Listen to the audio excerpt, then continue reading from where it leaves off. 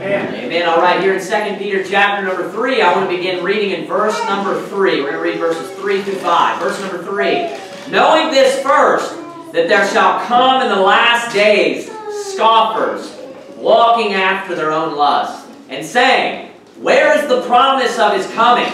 For since the fathers, fathers fell asleep, all things continue as they were from the beginning of the creation. Look at verse number 5. For this they willingly are ignorant of, that by the word of God the heavens were of old, and the earth standing out of the water, and in the water. So here we have a prophecy that there's going to come a time, it says, in the last days where there will be people that are scoffers. And what does it mean to be a scoffer? It means to be a mocker, someone that's mocking or making fun of something. Now, if you look particularly, it says that these people are going to be mocking that there is the promise of His coming. They're saying, all things have continued as they were from the beginning of the creation. I think that it is abundantly clear when you read that this is that this is geared at a person that does not believe in God. And not only do they not believe in God, they're mocking the idea that Christians are waiting for and yearning for the return of Jesus Christ. They think that that is a ridiculous concept. And they say all things have continued as they were from the beginning of the creation. Now this is also found in Jude, a parallel passage almost verbatim. You don't need to turn there, but it's Jude verses 17 to 18. It says, But beloved, remember ye the words which were spoken before of the apostles of our Lord Jesus Christ. and I believe that that's referring to Peter, Jude writing after the book of Peter. How that they told you there should be mockers in the last time. Notice mockers and scoffers were actually used interchangeably there. And also it says in the last time. Afterwards it says this, Who shall walk after their own ungodly lust. So these are predictions or prophecies that there will come a time when people will mock the Bible. They will mock Jesus Christ. They will mock and scoff at the concept of God. Notice the reason why, too, just a side note. It's not that, oh, hey, I've looked at the evidence and I've concluded that God's not real. Listen to this one more time who should walk after their own ungodly lust. So that's from the book of Jude, 2 Peter chapter number 3. Knowing this first, there's, that there shall come in the last days scoffers walking after their own lust. These are people that, that sat down, they have no, they're not biased about anything, they looked at the evidence, and I've concluded that there is no God. No, it's people that are pleased with there being no God, because then they can just go after their own lust without their conscience bothering them. Thinking, they don't want to, people don't want to go through life continually worrying that they have a, a, higher power or a creator that's about to come down on them hard. People don't want to live their life that way. So you know what's better is just to just put God out of your mind. Just to re reject the concept that God even exists. Then you get, you know what you get to do? Walk after your own ungodly lust. You get to live your life in whatever way that you want, and you don't feel any sort of guilt. You don't, you know, your conscience isn't bothering you anymore. That's why, you know, people that reject the idea of God, that's the, the, the root of the reason why. It's abundantly clear that God is real. That's a ridiculous argument. The Bible says, for the invisible things of Him from the creation of the world are clearly seen. Being understood by the things that are made, even His eternal power and Godhead, so that they are without excuse. When you look around this world, if you look around this world and think that there is no God, you are a fool. Right. You are stupid. You right. really are. If you, if you really look around the world and you're like, no, God does not exist, you really have two options. Number option number one is that you have to at least admit that a creator created everything. Something or someone created everything. Do you know what your only other option is? Nothing created everything. You know what evolution attempts to teach? Nothing created everything. Nothing created everything. Try to wrap your mind around that for a few minutes. Nothing created. There's nothing, no time, no space, no matter. There's nothing. Just nothing. And then all of a sudden there's something. From what? It's ridiculous. It, right. it, defies science, and then they try to use science to teach Right. It's foolishness. There is no such thing as science if nothing exists. Science is the study of things around you. Right. That's what it is, the study, gaining knowledge through testing, observing things around you. But guess what? None of this existed, buddy, Mr. Professor. So how are you going to test that and figure out that that's where it came from? No, it's a ridiculous concept. Just looking around at the world and seeing, not only just understanding the concept that, that you know, we live in time, and there was a time in which our universe began, therefore there had to have been something outside of time that created it. I mean, that's basic logic. There's no way around that.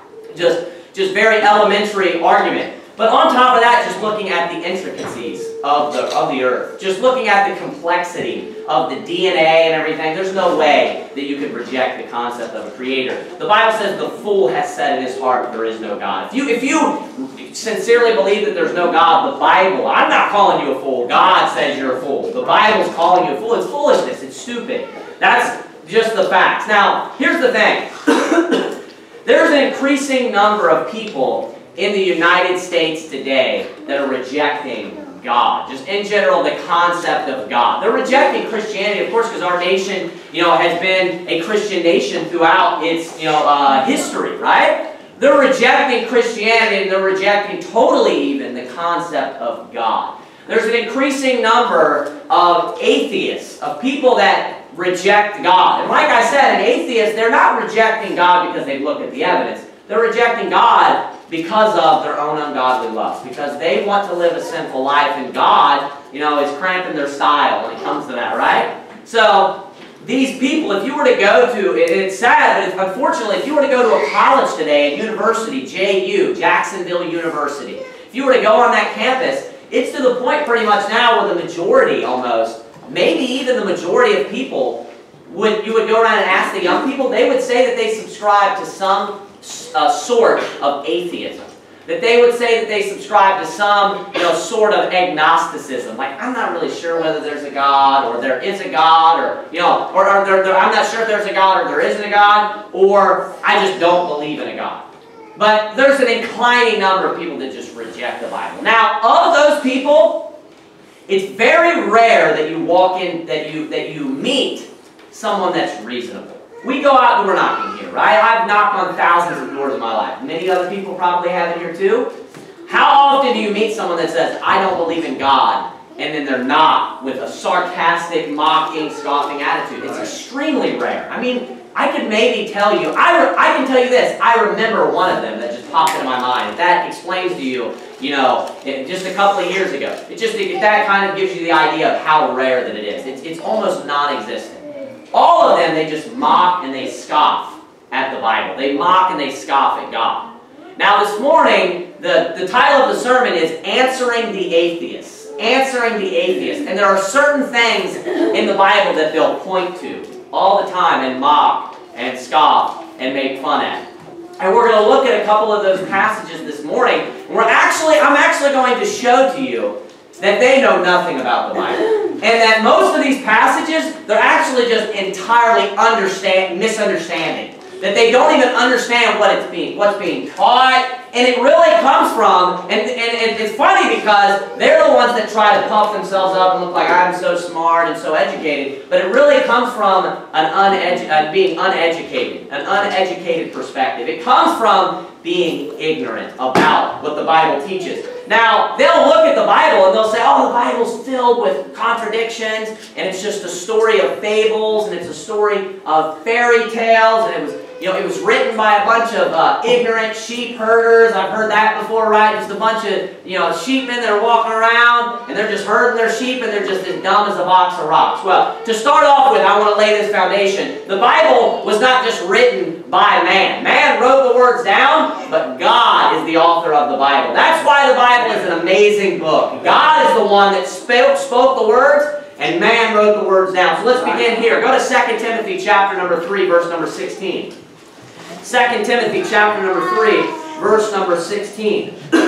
I'm going to read to you from 2 Peter chapter number 1, verse number 21. So listen to this. 2 Peter chapter number 1, verse number 21 says this. For the prophecy came not in old time by the will of man, but holy men of God spake as they were moved by the Holy Ghost. So notice that. The prophecy came not in old time by the will of man. So it didn't come out of man's heart, right? It wasn't man's will just to write down all these words, right? But it says that the holy men of God, excuse me, spake as they were moved by the Holy Ghost. Look at 2 Timothy chapter number 3, verse number 16. The Bible says, All Scripture is given by inspiration. Now, inspiration there means breathe or breath, saying that God spoke these words. It says, All Scripture is given by inspiration of God and is profitable for doctrine, for reproof, for correction, for instruction in righteousness. The argument that because man penned the words down, excuse me, therefore man, man is the author of the words is a very poor, you know, uh, uh, ignorant argument in the first place. And the reason being this, you know who actually wrote down the words of Romans, the book of Romans?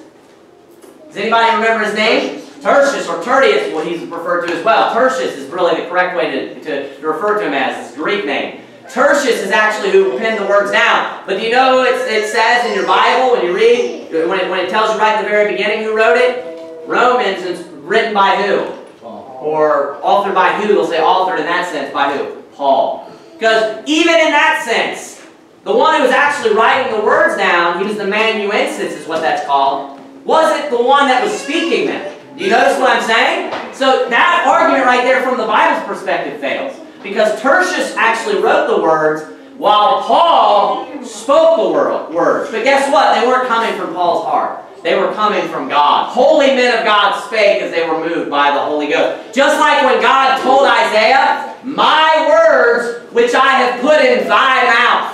They might have been in Isaiah's mouth, but they weren't Isaiah's words. Right. He said, My words which I have put in thy mouth shall not depart out of thy mouth, nor out of the mouth of thy seed, nor out of the mouth of thy seed, seed, from henceforth saith the Lord, and forever. So that's a verse on the preservation of God's Word, knowing that we have all of God's Word in the King James Bible. Today, the same words that Isaiah spoke is what I have in my Bible today. Amen. Now, I want you to turn with me, if you will, to Job chapter number 39, verse number 9. Excuse me. Michaela, can you give me a, a water, honey? This is Job chapter number 39, verse number 9. And we're going to look at a very common uh, uh, uh, you know, a word in the Bible, uh, or animal to be specific, that the mockers will scoff at. The atheists will mock and scoff at and make fun of. And I'm going to show you that they actually have no idea what this word means. That they actually have no clue what this particular animal actually is. And there's actually a vast misunderstanding, even amongst Christians today, of what this word means. But I'm going to prove to you and show you that a shadow of a doubt who this is speaking of. Or what this is speaking of. So, we're going to look at Job chapter number 39, verse number 9. Let me get there myself. Job chapter number 39, verse number 9. Right before the book of Psalms. Job chapter number 39, verse number 9. Now this animal, if you, if you look down there, you probably saw who it was, but it's the unicorn, right? It's the unicorn, and, and, and, I personally had atheists bring this up my uh, heard, bring this up to myself before. I've heard in debates between like uh, Christians and atheists, they'll, the atheist will just like, he starts to maybe lose or something, he'll just like kind of throw that out there. Yeah, but what about the unicorn, buddy? Or something. He'll start mocking how the Bible mentions unicorns, right? Well, the modern definition, let me read, let's start this way. the, if you look up in a dictionary, the modern definition in just a, this is a Webster's dictionary, this is the definition of a unicorn. This is what it says. A mythical animal typically represented as a horse. So it will look like a, it'll be a horse-like creature. Represented as a horse, and then it says with a single straight horn projecting from its forehead, right? So it'll be coming out of its forehead. And when I said unicorn, that's probably what you thought of, wasn't it? Everybody just popped in their mind just a picture of a rainbow with a unicorn running or something, right? It had a, a, a, a big horn out of it, like a horse-like creature with a horn coming out. And this type of creature actually has been mentioned in like Greek mythology. It goes back like Roman mythology. It's been mentioned in, in, uh, in like the Greek culture, if you will. So a lot of people will wonder, even Christians will wonder, why is the word unicorn actually mentioned in my Bible? Well, I'm going to explain to you and show to you what a unicorn actually is. So let's start by the Bible, right? Let's look at the Bible. Let's get the Bible's definition of what it is, not man's definition. So let's look at Job chapter number 39, verse number 9 here. It says this, Job chapter number 39, verse number 9. Will the unicorn be willing to serve thee? or abide by thy crib? Verse 10. Canst thou bind the unicorn with his band in the furrow? Or will he harrow the valleys after thee? Uh, now, one, one other thing that I want to look at real quickly is I'm going to read you three other references. You stay here. I'm going to read you the three other references. I want to look at all of them of unicorn in the Bible. Here's Numbers chapter number 23, verse number 22. God brought them out of Egypt, and then it says this, He hath, as it were, the strength of a unicorn. So notice what's being emphasized. We're going to identify this creature in a moment, but it says the strength of a unicorn, right? So it's a strong animal. Numbers 24, verse 8. God brought him forth out, out of Egypt, talking about Israel. He hath, as it were, the strength of a unicorn. So it's a strong animal. Now listen to what it says. He shall eat up the nations, his enemies, and shall break their bones and pierce them through with his arrows. So notice, in tandem with the, with the uh, unicorn, it's talking about him being a fierce animal that fights. He's talking about God fighting in another aspect, but he's comparing the two things. He has great strength, and then he's going to destroy them. Right? Look at, uh, now I'm going to read you, don't turn there, Psalm chapter number 92, verse number 10. But my horn shalt thou exalt like the horn of a unicorn. Right? So he says, my horn you'll exalt like the horn of a unicorn, saying of, with great strength. Then he says this, I shall be anointed with fresh oil. One thing, of course, that we see being emphasized is the strength. You know what else you see being emphasized? It specifically is the strength of the horn that he has. One horn. The strength of his horn and just his strength in general. Now, when we read in, in chapter number 39, verse number 9 and 10, was there anything that just screamed just horse with a horn? Anything at all? Anything that we've read at all, period? Nothing at all, right? Actually, it implies to me something very different. I'll point that out to you in just one other moment. But you know what's very interesting? When you read in Job chapter number 39, God actually goes through and mentions a bunch of creatures, a bunch of animals, right? None of them are mythical creatures. I want you to look here in verse number 1. Knowest thou the time when the wild goats of the rock bring forth? Is that a mythical creature? No, a goat is just a normal animal that we look around and see every day, right? Look at verse number 5. Who hath sent out the wild ass free? You know what a wild ass is? A donkey, a wild donkey. Look at verse number 13. Gavest thou the goodly wings unto the peacocks, or wings and feathers unto the ostrich? Are those, are those mythical creatures? Are those from Greek mythology? Or are they just normal animals? You can go to a zoo and see all these animals today, can't you? A lot of people have farms and they'll possess a lot of these animals today. Look at, uh, I think I have one more here. Look at verse, verse number 19. Now we're going to bounce off of this. I'm going to prove to you right now that actually what was mentioned in verse number 9 and 10 is not a horse. Because look at what's mentioned in verse number 19. Hast thou given the horse strength? Hast thou clothed his neck with thunder? So notice what was actually mentioned in verse number 19. What was mentioned? A horse. A horse. So would it make sense? Notice he's not repeating animals either. Would it make sense that he would previously have mentioned a horse and then now we're just going to mention a horse again? Further, let's prove that it's not, because notice that different characteristics are, are, are given to the horse right now than were given to what we read just a moment ago. Look at verse 19. Hast thou given the horse strength? Hast thou clothed his neck with thunder? Canst thou make him afraid as a grasshopper? The glory of his nostrils is terrible. Now look at verse 21. He paweth in the valley and rejoiceth in his strength. He goeth on to meet the armed men. So how is he going on to, eat, to meet the armed men? This is very important. Because he is being ridden by a man. And what's happening? He's taking him forth into battle. You understand? So he's going forth to meet the armed men in the battle. Now look at verse 22. He mocketh at fear and is not affrighted, neither turneth he back from the sword. The quiver rattleth against him, the glittering spear and shield. Now, so notice that this is referring to war. He's being ridden forth into war. Has that animal been domesticated? Yes. It has. It's being used, isn't it? In some way. The man is using it, isn't he? Go back to verse number 9 now. Let's look at the unicorn. Let's see what it's actually explaining. Will the unicorn be willing to serve thee? or abide by thy crib. Now, can you say that about a horse? Yeah. You can say that about a horse, can't you? Now, I want you to think about this. I don't know if you know this or not, but if you look up what is the most common agricultural engine, it's a horse. And the engine doesn't have to be mechanical. It's just any sort of animal that's being used, like even of donkeys and everything. The most common animal that is even still used today to, to furrow and harrow land a horse. Notice what it's saying about, about this particular animal. It says in verse 9, Will the unicorn be willing to serve thee? Saying, Will he listen to you? Does the horse listen? Was he listening to the rider? Was he going where he wanted him to go? He was, wasn't he? Notice the major difference between the two animals.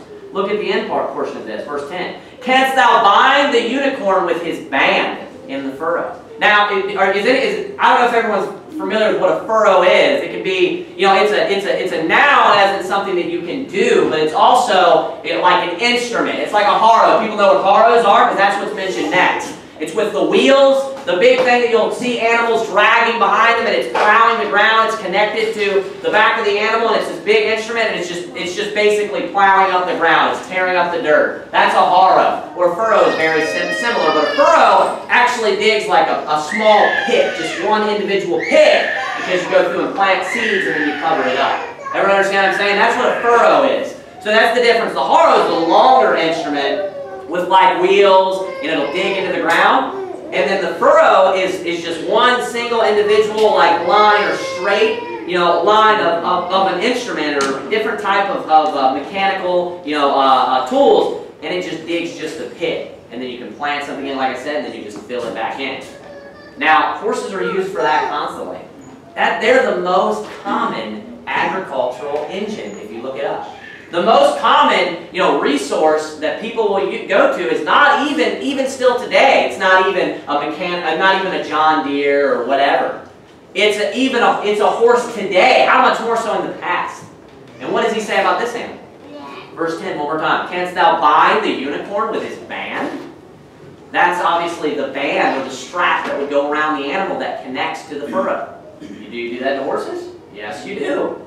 Canst thou bind the unicorn with his band in the furrow? Or will he harrow the valleys after thee? This is what horses are used for constantly. It's the most common animal that's used for this.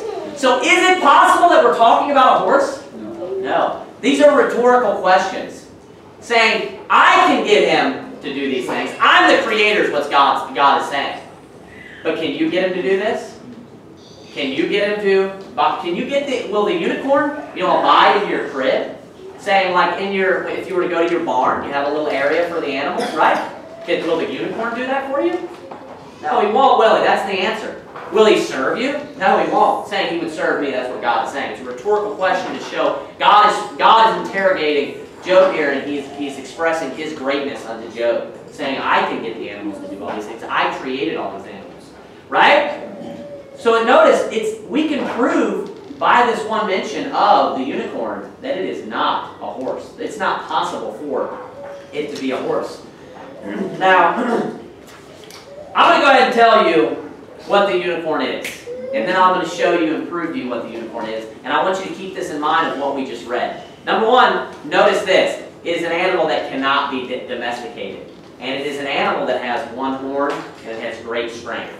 When we look around at the world today, there's only one animal that this could apply to. You know what animal it is? A rhinoceros. It's the only animal, when you look around at the world today, that has not been domesticated. That it has great strength and that possesses one horn. Now, some people may say, well, I thought, you know, rhinos had two horns. Well, there are different species of rhinos, of course. Like the most common, the reason why people think that is because the most common rhinoceroses have two horns, like the Sumatran rhino. That's the one you see at the zoo almost all the time. Then there's the white rhino, you know, the black rhino. There's the the uh, the the what is it called about his lip? The hook lip rhino, the hook lip rhino, where his lip like comes out real weird. And then you have the round head or, or round uh, cheek, something like that, round face rhino, where he has his, his head like rounds real weird, like that. All those rhinos are the most common rhinos. We go to zoos a lot, all right? If you I know that. I used to like like read and memorize the stuff at the zoo. We used to. I love rhinos too, by the way. So, but here's the thing: when you when you look up rhinos when they're classified, if you ever do go to the zoo and you read those little plaques or you talk to the curator, that's the person that shows you the exhibit, they, they will oftentimes not refer to them as rhinoceroses. You know, they'll refer to them as by their Latin name. Because most animals are actually classified when they're studied by their Latin name. Now, you know what all those rhinos that I just referred to as a moment ago are, are, are actually called, you know, the ones that possess two horns. Does anyone know what they're called? You know, uh, you know, it starts with a, you know, uh, with a B. I'll give you a hint.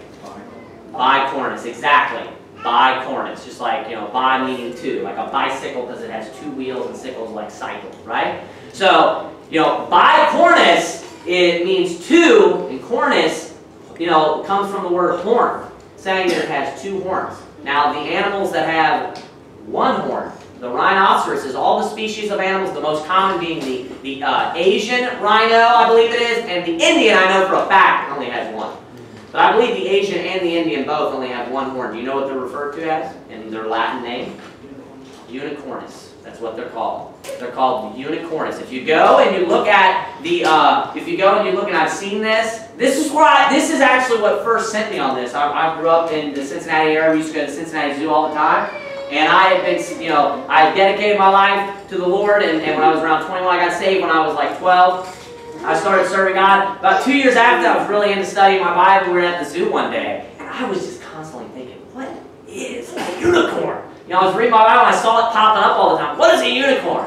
You know, and one day I was at the zoo, and I don't know if my wife remembers this or not, but I, like I said, I read the plaques and everything. And then I noticed one of the animals, one of the one of the rhinos was actually referred to as something bicornis.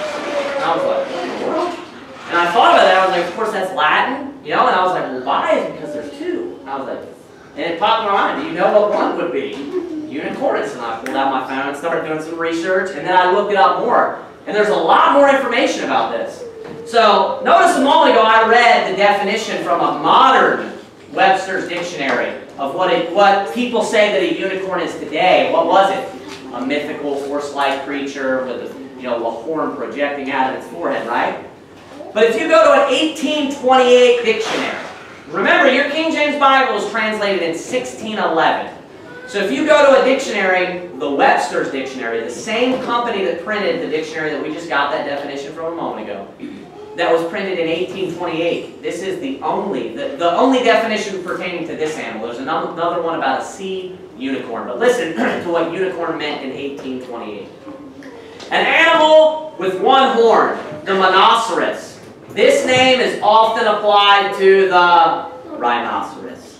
So if you look up the definition of a unicorn in an 1828 dictionary of what it actually meant right after the King James Bible was translated, someone sat down to read their Bible and they read the word unicorn. Do you know what if they opened up, hey, let's look at a dictionary. Do you know what the dictionary would tell you that it was? A rhinoceros. Now, even, maybe even more interesting than that, if you look up in that same dictionary, just look up the word rhinoceros, it says this, a genus of quadrupeds of two species, one of which, the unicorn, has a, has a single horn growing almost erect from the nose. The animal, when full grown, is said to be 12 feet in length. There is another species with two horns, the bicornis. They are natives of Asia and Africa. So notice, you look up unicorns, and it's like it's a rhino. You look up rhino or rhinoceros, what does it tell you it is?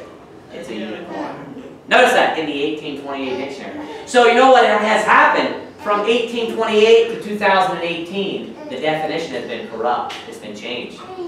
Further proof of that, and this is actually what I was referring to a minute ago. This is extremely interesting. This is, this is extremely interesting. So, is anyone familiar with the Latin Vulgate? That is the Catholic Bible, right? The Latin Vulgate is the Catholic Bible. So if you look the if you look up the verses in the Latin Vulgate, which is where that name comes from. Where our word today, unicorn and bi, you know, a unicorn comes from, it's unicornis. That's a Latin word. So if you look it up in the Latin Bible, all of those verses where a unicorn shows up, you know what it says? All these different things. When these guys are a bunch of idiots when it comes to the Bible is what the facts are. They don't even, why don't you, if you want to mock the Bible, don't try to pretend and act like you've done your due diligence when it comes to, hey, I looked at the Bible and the word unicorn is mentioned. Therefore, I reject the Bible. Well, what, is the, what does the word unicorn actually mean?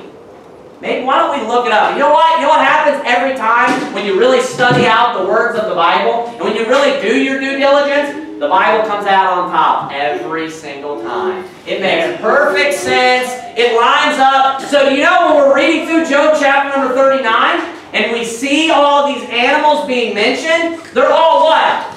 They're all factual animals that we can all look around and see today. And you know what Job 39 verse 9 and 10 when God's speaking to Job? Now think about a now think about a rhino when you see a unicorn.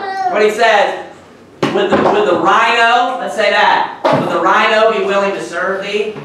Are you going to bind him and put him in your crib? Are you, no, he says, he says, are, are you going to, is he going to abide by thy crib? And then he tells him, you know, in, uh, in verse number 10, he tells him, you know, are you going to put a band on him and get him to furrow? And, you know, and, and get him to harrow the ground? Is that possible? No. So what, you know how, how much sense it makes when you look at it as a rhino? Now, here's the only objection, I believe this for a little while, and probably a lot of people here probably have heard a lot of that information, maybe not all of it. But I brought it up, I brought it up to a lot of people and persuaded a lot of people to my view on this. And there was one person that gave me uh, some pushback on it. And he was really stuck on this being like a horse-like animal. And I was like, well, what's your proof of that? You know, from the Bible. And he didn't have anything besides this in Psalm chapter number 29, verse number 6. Let's go to Psalm chapter 29, verse number 6. It's, it's just one book forward. Psalm chapter number 29, verse number 6. He looked up all the verses and he came back to me. He already, he already wanted it to be a horse-like creature because he didn't have this verse when he was when he was kind of giving me pushback. Then he went home and he looked up all these verses, and this, and this guy ended up being a missionary and went over to Africa. I mean, that actually ties into the story here in just a moment.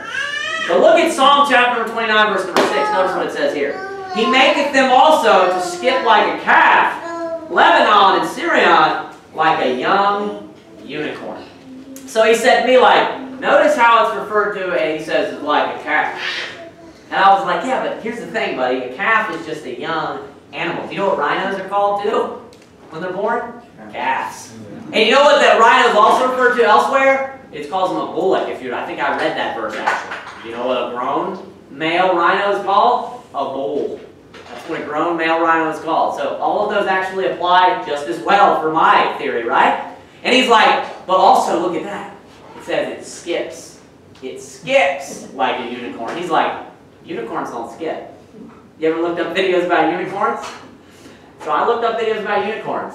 And I was like, ah, I don't know. That same guy went to Africa. You know what's in Africa? Rhinos. he calls me up one day over WhatsApp, and he's like, dude, I had to call you. He's like, I just saw a baby rhino run by me, and he said it was the perfect definition of skipping. he said, he said, I am 100% sold that a rhino, that a unicorn Bible is a rhino. I am 100% sold. And I actually, he actually got that argument from someone else, is where he got that argument. But here's the thing. When you look at it being a horse-like creature, you can debunk that from that angle, number one. You can see that the horse is mentioned in the context. Then you can see that the horse is actually being domesticated in the context, and this animal is not. And repeatedly, the great strength is mentioned about this animal, saying he's got greater strength than all these other animals, greater strength than the horse, and he cannot be domesticated. We look around at the world, a rhino is the only animal that meets that, that qualification. Then we look up, actually when the King James Bible was translated, 200 years after even, and the definition is still rhino. You look up rhino, and right, and I don't know if you thought about this, but actually when it says rhinoceros in 1828 dictionary, in that context, it just refers to the rhino casually as a unicorn, also known as a unicorn, saying that that's what it's still being called today. Then, you look up the Latin Vulgate, and all the times almost, not every time, uh, it, it's translated as unicornis or unicornium, that's plural in, in Latin when it's not I-U-M or something like that. But then it's translated as, sometimes as this, rhinoceros or rhinocereum in their Bible, which I believe the King James Bible is perfect. Amen. You, rhino and unicorn mean the same thing, just like they meant the same thing in 1828. So I don't need that to be, you know, that's not a proof to me from the English text. But what I can do is look at the language in which that word came from, and we can see what that word means in its original language. And, and in a Bible, that's translated into Latin where the word unicorn came from. So that word derives from Latin. Where it came from Latin, if you look up that word in the Latin Bible, they'll translate that same word in their language as unicorn and rhino both in the Latin Vulgate.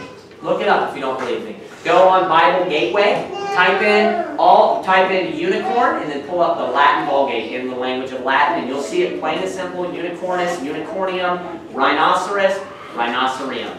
Over and over and over again. So as I said, the King James Bible every time comes out correct. So this is this is a, uh, something to learn about this. When you read the Bible and something like is daunting to you, it can bother you, and you're like, what in the world? Why are the unicorns being mentioned in the Bible?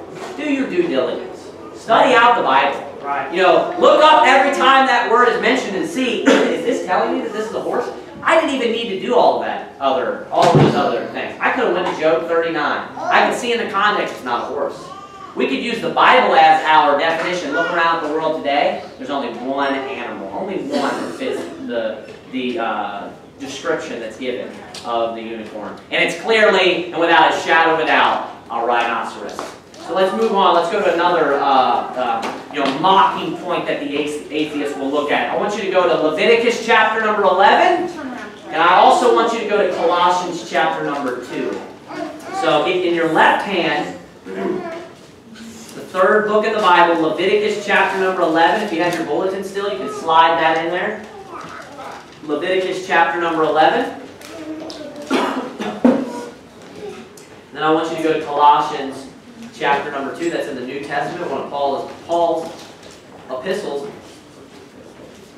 Colossians chapter number 2. Now, this is another point that, that uh, as I said, the atheists will bring up and they'll try to mock the Bible, right? Normally, this is brought up if anything about homosexuality is mentioned. The Bible very plainly and clearly declares homosexuality to be an abomination. So if you mention that to an atheist, you say, you know, the Bible says, or, you know, homosexuality is an abomination. Almost all of them. It's like they have a forum that they all go to, or they have some meeting and they all repeat the same thing. They'll all say the same thing almost all the time. What did you have? Shellfish recently? Did you eat bacon this morning? Well, the Bible says you're an abomination too. Has anyone heard that before? Yeah. Numerous times. Well, then you're just as much an abomination as a homosexual is. But I'm going to show you and explain to you the foolishness of that. I'm going to explain to you, you know, uh, from the Bible, the clear explanation of the, there's a major difference between the two. Now, the first thing is to understand this. In the Old Testament law, the law is broken into two components or into two parts. It's broken into the moral law and it's broken into the ceremonial law. Now the moral law is just like we said that that's morally wrong. It's things that are just inherently wrong or intrinsically wrong. It is wrong, just wrong to lie, isn't it? It's just wrong to steal. It's just wrong to kill someone, right? And these things have been wrong from the beginning of time, right? We can see God, you know, disciplining or punishing people for murdering all the way up until Cain and Abel, can't we? So it was wrong from the beginning of time to kill someone. It's always been wrong to do all of it. That is the moral law. It's just, it's always has been and always will be wrong to, you know, you know, kill someone just like that. The moral law, right? well, when God gave the law or the commandments to the nation of Israel, part of it was the moral law, but then he instituted a lot of new things. That is the ceremonial law. Or the, these are rituals, right? These would be things that would be like rituals or ordinances. We, another thing we could refer to these as. Now, the ceremonial law or the ordinances these are things that God tells them kind of like, you know, how He wants to separate them from, the nation of Israel, separate them from all the world. These are things that are used in that sense. Most of these are used to separate them from all of the world. But they are meant to be pictures or shadows of things to come, of Jesus Christ. They shadow and they picture Jesus Christ or things to come about Jesus, things that He will do, different aspects of Jesus. And these are not morally wrong to do throughout history. But think about, but this I do want you to understand. When God instituted these as laws or commandments, if you would have broken these commandments or laws, it would have been a sin to do so. When God says don't do something, no matter what it is, it's a sin to break it, isn't it? Right. So throughout the Old Covenant, if you would have, and we're going to get to this, eaten shrimp, it was a sin to do so. Right? right? But the Old Covenant came to an end at one point, didn't it? And then the New Testament came in. Here's the thing. The moral law still stands. Right? It's still wrong to kill somebody. Right. It's still wrong to lie. It's still wrong to steal.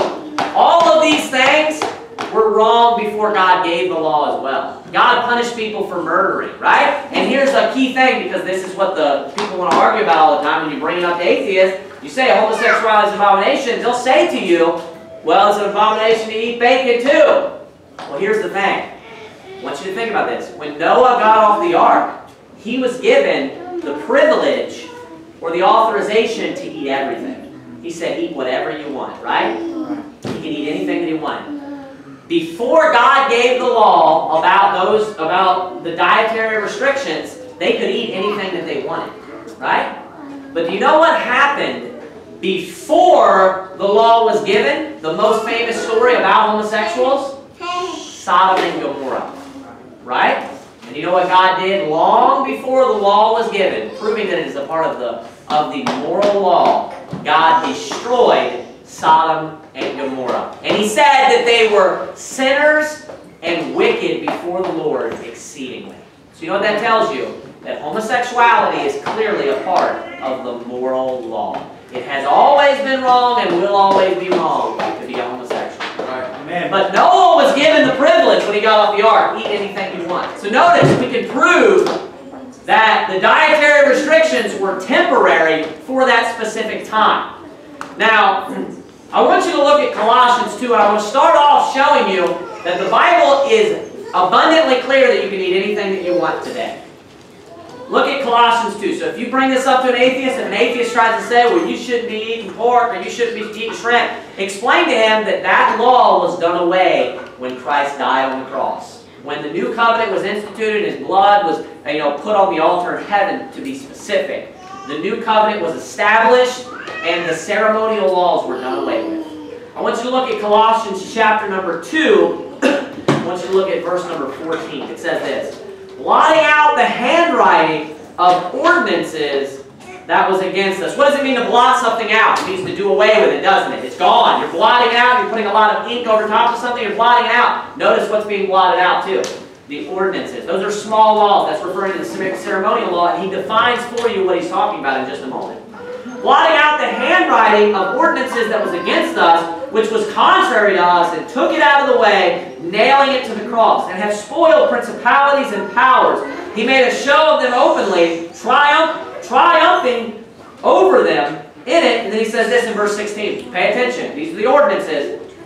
Let no man therefore, so because the ordinances have been blotted out, let no man therefore judge you in meat, that's foods. Meat in the Bible just means food, any food in meat or in drink or in respect of an holy day or of the new moon or of the Sabbath days. So notice all the days that they, that they practiced, that they followed, the feast, the new moon, the Passover, if you will, all of those. The day of Pentecost, all of those things, right?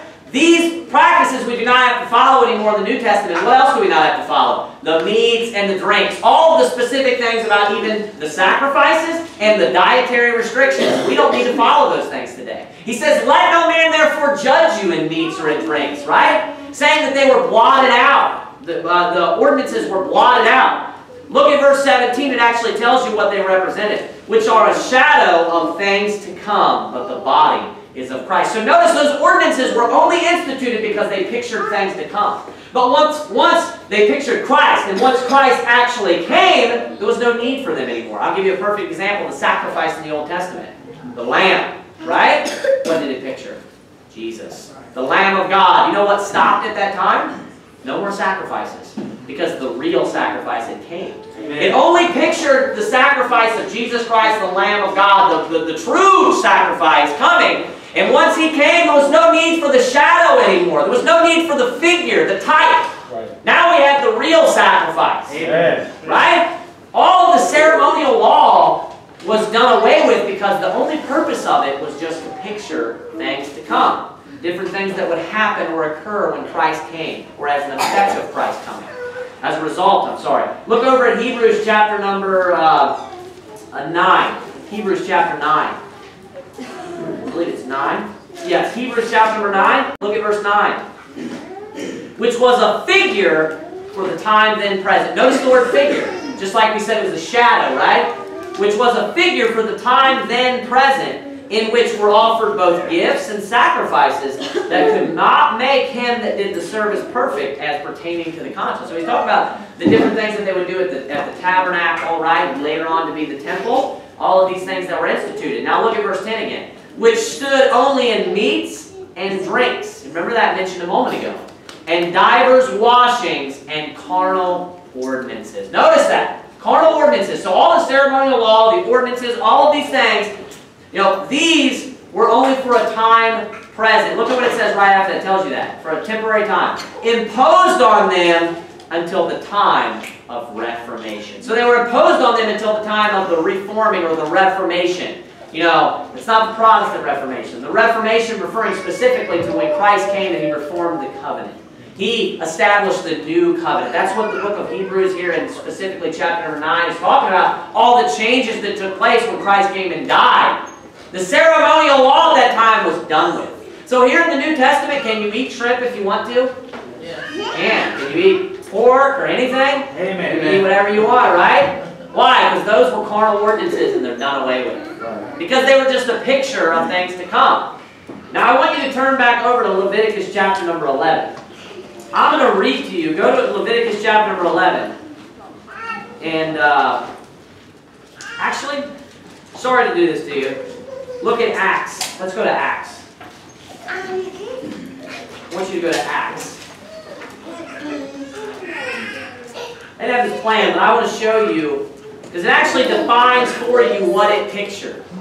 The unclean and the clean beast. So you're in Acts 10. Keep your hand there. Now look at Leviticus. I want to compare these two, one right after the other. That's why I wanted your hand there. So if you look in, once you get your hand in Acts chapter number 10, and yes, it is chapter number 10. I want to verify that. Go back to Leviticus chapter number 11. Now, here's the, the, the notorious chapter where all the clean beasts are laid out, and then all the unclean beasts are laid out. When you read through here, chapter number 11, verse 20 tells them, And the Lord spake unto Moses and to Aaron, saying unto them, Speak unto the children of Israel, saying, These are the beasts which ye shall eat among all the beasts that are on the earth. then he goes through and he starts giving specifications on what qualifies to be eaten as a clean beast and what does not. Verse 3, Whatsoever parteth the hoof and is cloven-footed and cheweth the cud among the beasts, that shall ye eat. So he gives them a couple of qualifications there. And then he goes through and explains things, if they don't do this, if they do do that, and he has other qualifications as well for other types of animals. So there are some animals that end up being referred to as unclean, and some animals that end up being referred to as clean. If you look at the end of the chapter, in uh, Leviticus chapter number 11, look at that quickly. It tells them at the very end, notice the purpose of this law, verse 44. For I am the Lord your God, ye shall therefore sanctify yourself. Now the word sanctify means to set apart, to be different.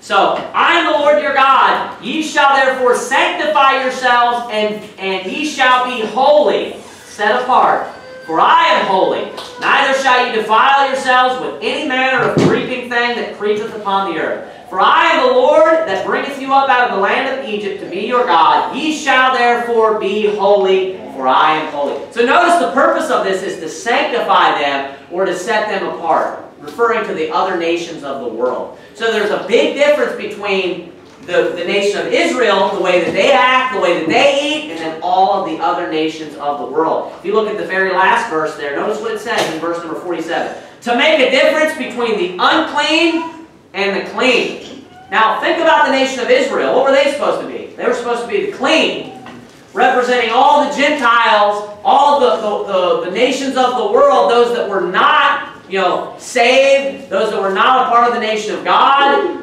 they were unclean, right? But then you have them saying right after that, in between the beasts that, that may be eaten and the beasts that may not be eaten. So in the same breath, he says between the clean and the unclean, the beast that should be eaten and the beast that should not be eaten. Right before that, he said, I want to sanctify, the reason why I want to do this is I want to sanctify you.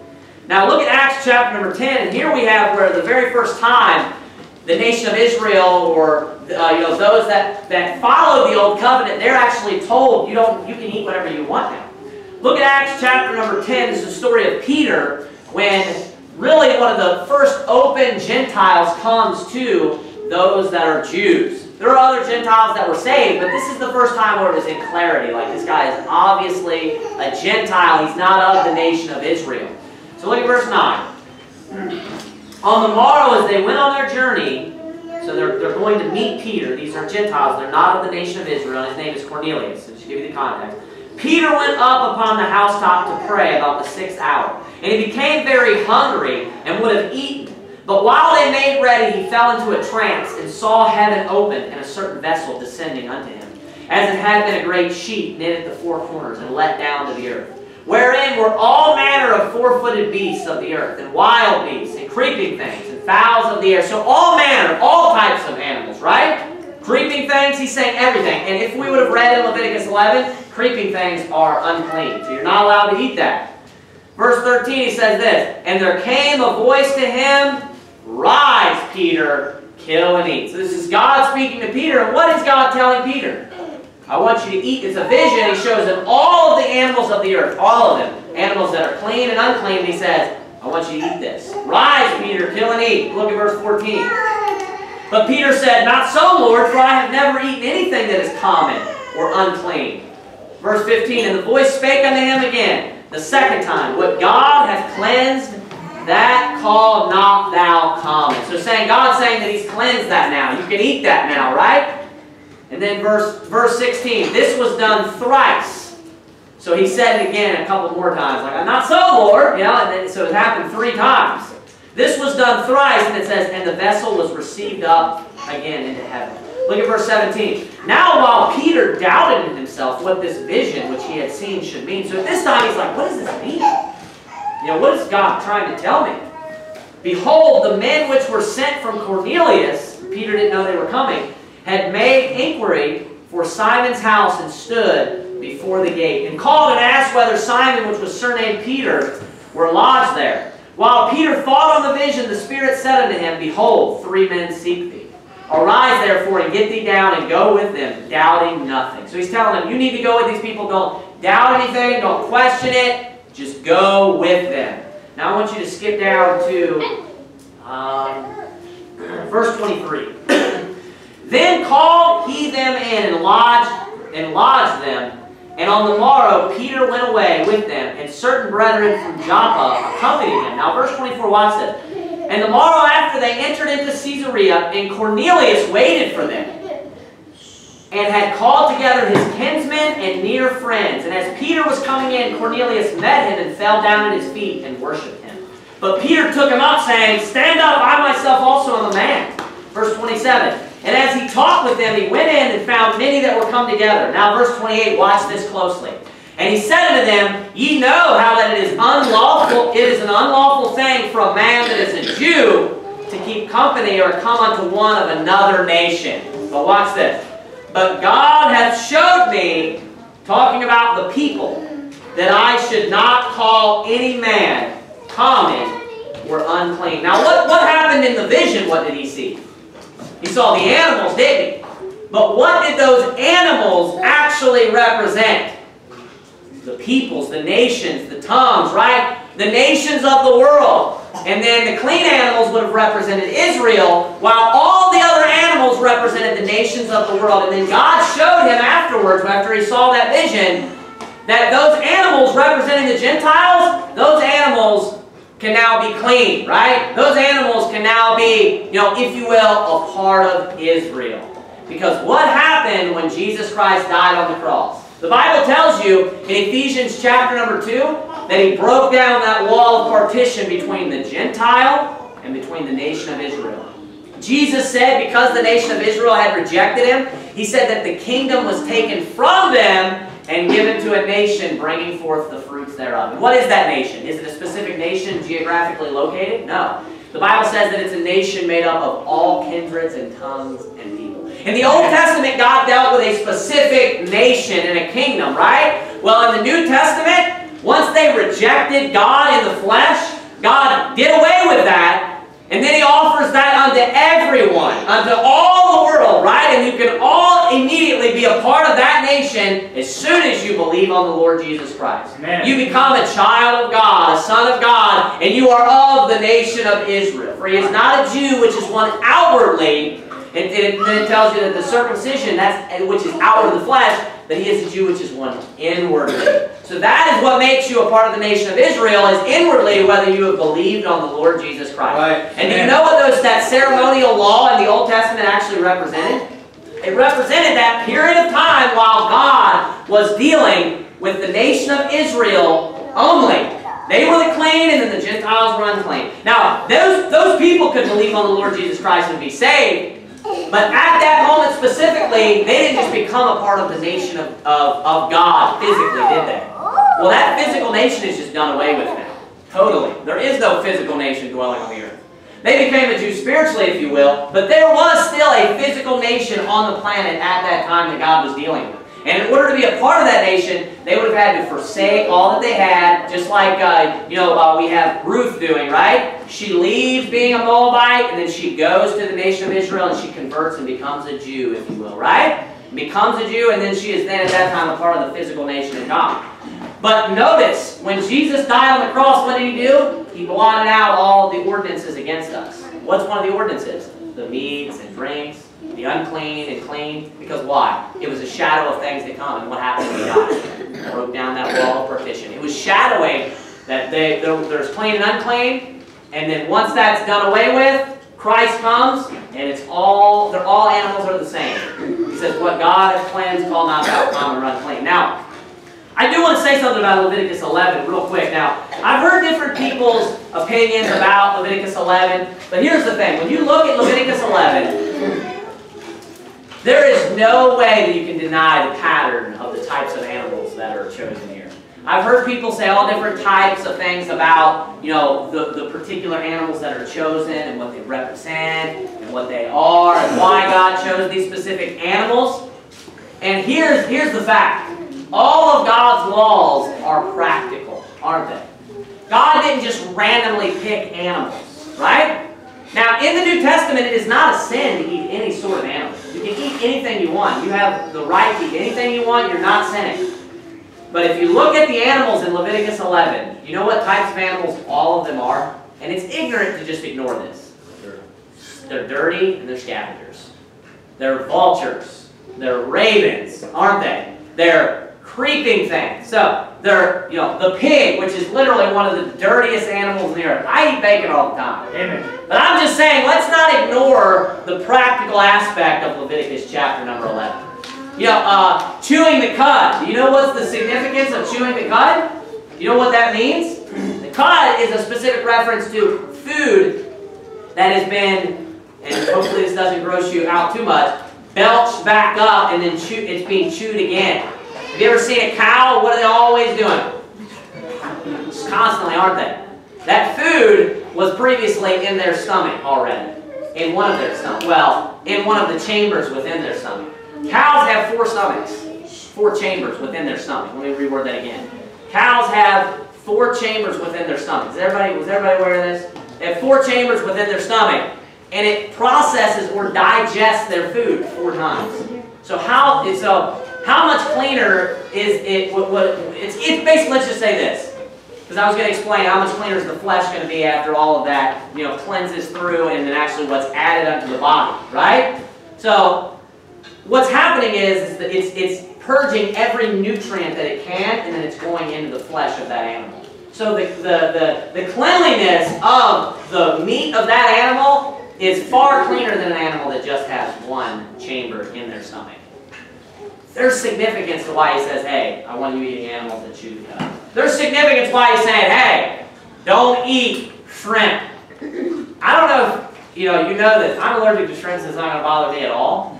But the shrimp is, is literally known as the cockroach of the sea. It's the cockroach of the sea. Do you know where it lives? It's a bottom dweller. And if you look up the foods and the things that it eats and stuff, it's like feces and stuff like that, literally. It's just dwelling on, it's eating, you know, poop is what it's eating. And it's eating scum and dirt and things like that its whole life. It's like taking cockroach out of it. And you may not think of it like this and eating it. That's how dirty shrimp is. The animals that he mentions, they have to have scales. They have to have fins. You know why? They're swimming around. They're moving. Their body is more in fit. It's more muscular, right? What happens to animals when they sit around? It's bad meat. Why are chickens bad when they're... Why do we want free-range chickens? Chickens. Rickets. Chickens. Because they're moving around, right? They have good meat. It's not good when an animal's just stagnant. So God says, hey, the animals in the ocean, eat the ones that have, scale, that have scales, that have fins. He's saying the ones that swim around is the point. They're moving. They have good meat on their body. The ones that chew the cud, good for them. So to just try to come up with some other excuse, people do this all the time for why it's silliness. There's a practical reason why these animals are chosen. You know the other type of animal? Don't eat creeping things. You know why? Where, where did the shrimp dwell? The bottom of the ocean, what's on the floor? Floors are dirty, right? Creeping things, they're things that drag their stomach when they go. They're on the ground, they're living in crevices and rocks. Is that, is that a clean environment? No. So why did God say, hey, don't eat these things? What was the reason? They're dirty animals. So we need to just admit that. So don't, you know, don't try to act like when you're eating your, your pork. I'm gonna eat pork too. I'm not, not, I'm not saying anything about it. But be, but be honest. You understand? And don't say, oh, you know, Leviticus 11. You know, God just uh, had nothing to do with the lifestyle of the pig. That's stupid. It really is. We have to just look at, in God's practical, you know what it does is this. This is why it's important as well. And we're going to look at like three verses just real quick. We're going to look at these and we're going to be done. This is why it matters. Because it shows the intelligence of the mind of the person that wrote the Bible. This type of diet and understanding, eat this type of animal, not this type of animal, we may take these things for granted today, but it is far, far superior to the, the intelligence of a lot of the civilizations and the men that lived upon the earth at the time the Bible was written. You may look around and say, well, this is just common sense. No, it's it's common sense because of the culture you live in, the things that you've been taught. Go to some barbaric country today and see the types of foods and the understanding that they have between clean and unclean and things to eat and things not to eat. They don't know these things, and you just take you're taking it for granted. You know why? Atheists want to mock the Bible, and they to bring up all the unclean and clean foods, but it actually is an attestation to the wisdom of the mind that wrote the Bible. The Bible was far ahead, far ahead of its time. That's why, real quick, we're going to look at verses real fast. While we're in Leviticus and things like that, we're going to go through these. We'll be done in five minutes. Look at Leviticus 17 11. Leviticus chapter number 17, verse number 11. Leviticus chapter number 17, look at verse number 11. The Bible says this For the life of the flesh is in the blood, and I have given it to you upon the altar. He goes on and on. But notice that first statement. The life of the flesh is in the blood. Now, what's going to happen if you read this verse and you understand that the life is in the blood?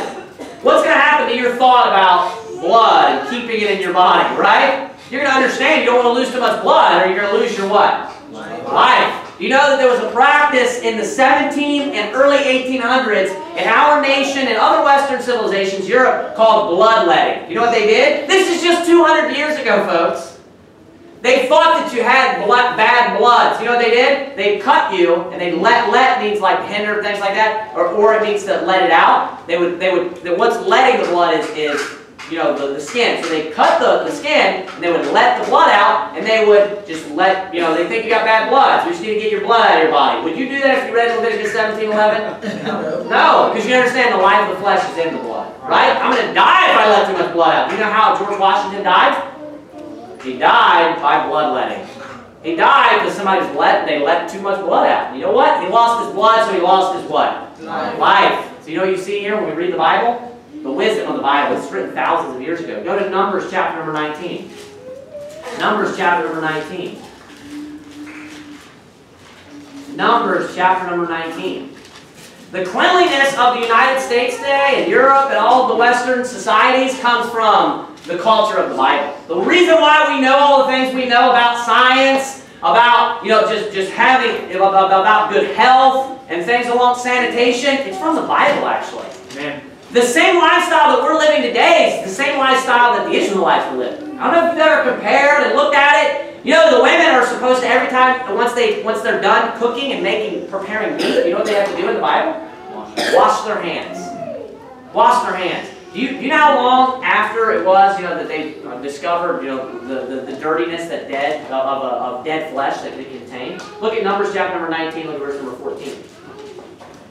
It says, This is the law when a man dieth in a tent. All that cometh into the tent and all that is in the tent shall be unclean seven days. Why? No one knew about this. You take this for granted that no one knew that a dead body has potentially harmful microorganisms on it. Things that you cannot see. No one knew this cultures thousands of years ago. No one. But God said, hey, if a dead body dies in a room, somebody's in there, anybody who's in there, they're unclean for seven days. All that's in the tent, every person, they need to stay away from other people. They need to get away. They may have some disease or something on them. They need to stay alone in solitary for seven days. Look at the next verse. This is even more amazing. Look at verse 15. And every open vessel which hath no covering bound upon it is unclean. Do you know what that means? That whoever authored this book understood that dead body dies there. It's not moving. But from for in some way, germs or something harmful from that body that I can't see can make it into this vessel all the way over here. You know what that is? Airborne germs.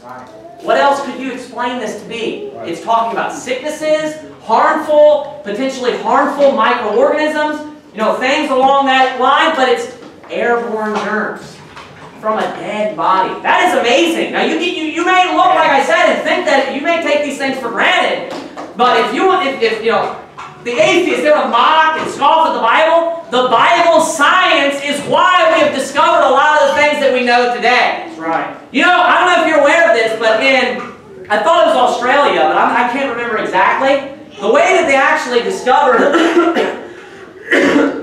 you know, uh, um, different types of just microorganisms, right? Organisms that, organisms that you can't see, things that are potentially harmful for you. The way in which what set them on the path of discovering this, go to Leviticus chapter 15, verse 14, was, this is the last passage we're turning to. This is just 150 years ago we discovered this, folks. 150 years ago.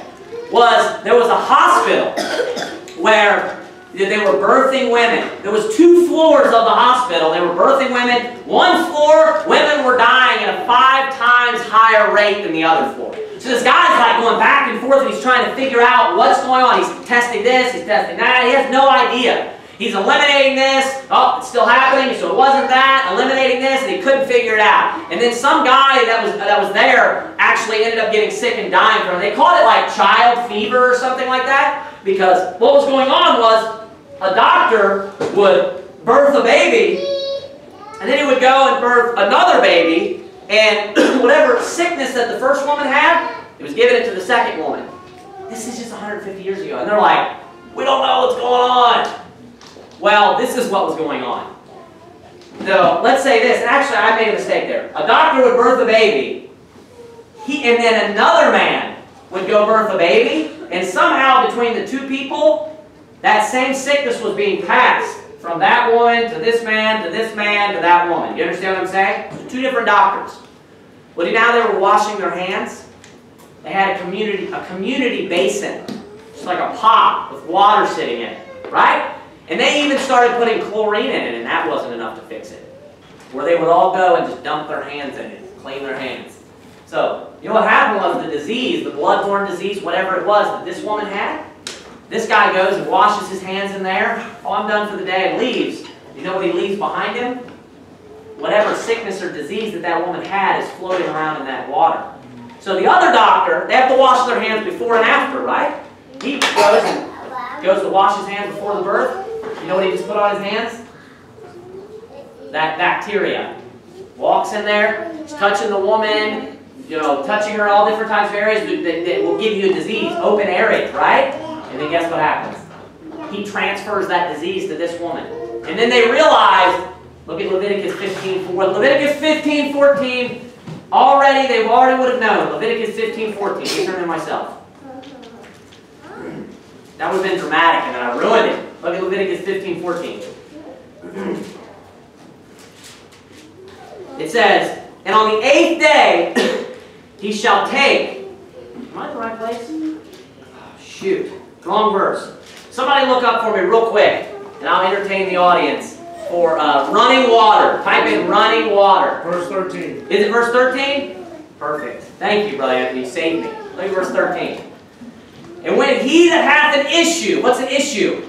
It's a sickness, right? It's like some, it's, it's normally referring to something that's bloodborne a lot. It's like something that's oozing out, but it's a sickness, right?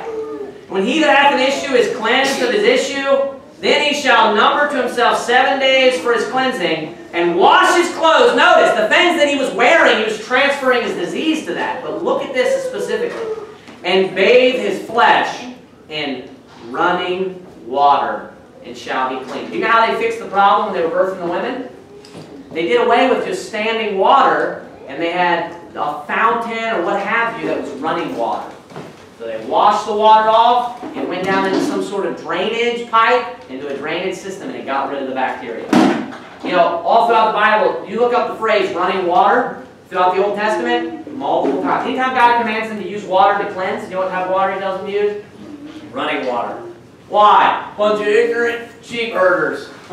Bunch of ignorant goat herders. The, sci the science of the Bible is the reason why we've discovered the things that we've discovered today. All of these atheists, they need to go back and they need to look and see actually the major discoveries during the Industrial Revolution of our country. You know, all the people that discovered, you know, how to, how to harness energy like electricity, all of the different, you know, mechanical devices that allow us to do the things that we do today.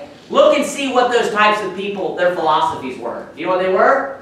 They were Christians. They were deists in some sort. They believed in God. They you know why? Because when you look around at the world, in order to make sense of the world, you have to believe in God. You have to. Because why? You can't even you can't learn anything from observations if you think that everything's random. You have, in order to be able to test something repeatedly, you have to be able to predict the pattern of the source. So you have to know, that's going to do that again, so I'm going to try this this time. If everything's random, then it makes no sense. Atheism is foolishness. Amen. The Bible is amazing, and you know, it just shows all these atheists, just like the Bible says, they'll come in the last days, scoffers. What are they doing? Walking after their own lusts. Do they come to you and they try to reason with you, or hey, if you can show me, I believe? No. They mock the Bible. They're not interested in the Bible. They make fun of the Bible. Yeah, the Bible mentions unicorns. Did you really look into that, buddy? You're right, it does mention unicorns. And every description lines up with a rhinoceros. You go back to the language that it came from, you know what it is? A rhino. You look at, the, the, they don't understand the difference between the ceremonial law and then the moral law. And when we look into the ceremonial law, we look at the dietary restrictions, the, the, the, the eating habits that God prescribes are thousands of years ahead of, of, a, of, a, of a strong civilization's eating habits. Think about that. They were eating, their dietary restrictions, that what they were eating, the types of foods they were eating, the way in which they were eating, the way in which they were living their lives, no one lived like that for another thousand years, two thousand years, three thousand years. If that's not fascinating, I don't know what is. You know the only explanation? The God that made this world, He knows how it works.